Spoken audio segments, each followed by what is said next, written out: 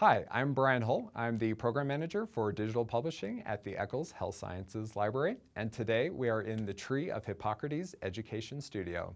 The studio is a educationally focused multimedia creation space for students, staff, and faculty on the University of Utah campus.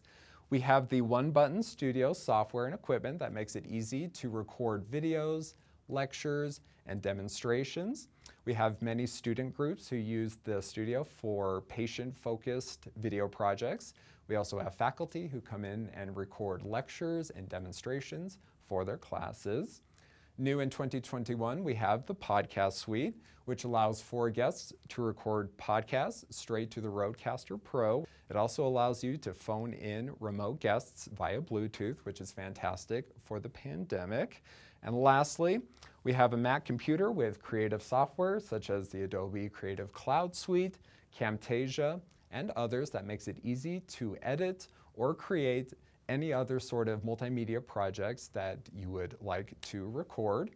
If you have ideas for educational multimedia projects, go to the library's website at library.med.utah.edu to ask us any questions you may have about getting your project accomplished or to schedule a session for yourself using the online scheduler for the studio.